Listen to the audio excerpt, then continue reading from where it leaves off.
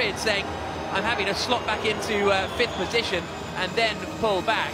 And uh, looks as though we've got a, an incident here on the uh, on the start line. So on the grid, Nico Muller lining up on the front row of the grid.